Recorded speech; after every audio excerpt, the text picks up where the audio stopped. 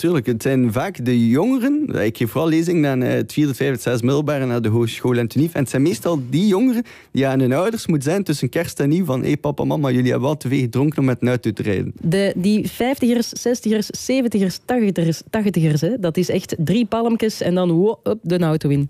dus ja, ik, ik, allez, ik vind ook, er is een, eh, een soort movement, er is, het is een beweging. Hè. Dat is juist roken 30 jaar geleden was allemaal normaal. Nu is dat minder normaal. En met, ro eh, met alcohol gaat dat ook ook zo komen. De mhm. komende jaren gaat dat nog veel veranderen. En er, er komt een, verschuiving. Er is een bewuste generatie. En er zijn er inderdaad nog altijd veel jongeren die wel drinken. Maar er zijn ook al veel jongeren die nadenken van... Oké, okay, kan het ook anders? En hoeft dat altijd? En ja, het zijn altijd zo twee, twee bewegingen. Ik ga